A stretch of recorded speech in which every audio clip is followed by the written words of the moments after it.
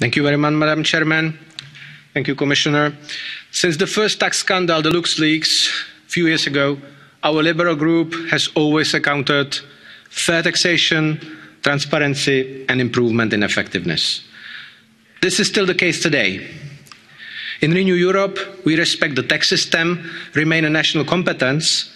However, we also think that tax fairness is a core value, especially when it comes to the main engine of our economy small and medium enterprises. At any cost, we have to make sure they do not suffer competitive disadvantage to large international players. They exploit the fact that the taxation is largely linked to physical residence and use it as a method of tax optimisation.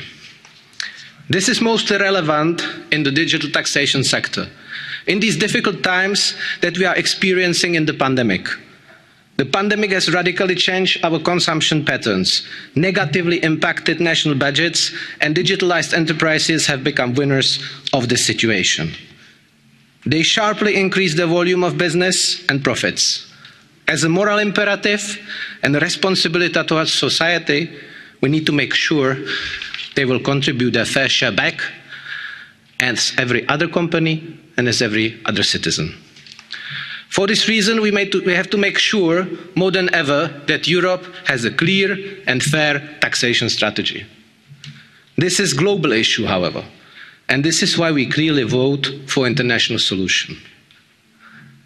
We have been waiting for long for our international partners to credibly join our efforts. So let me make this clear. This is our last attempt. We shall see an agreement in OECD by this summer. In our report, that will be voted today and that enjoys a very broad support across political families, we want to emphasise that should the international talks fail, Europe will adopt its own strategy, its own levy. Some European countries have anticipated this and have already implemented the digital tax. We do not look at these unilateral measures as a sign of weakness or fragmentation. On the contrary, we believe that they pave the way to a real change, to a European solution. The recent moves in the US administration show signs of positive changes, hopefully a progress towards a solution on global digital taxation. But we are not there yet and I am now addressing kindly European Commission, we cannot simply sit on our hands and rely on global talks. We had this situation two years back and shall not repeat the mistake. Let's make sure we are prepared. Let's design our own digital levy before summer. And let's finally prove that Europe is fit for digital age. Thank you.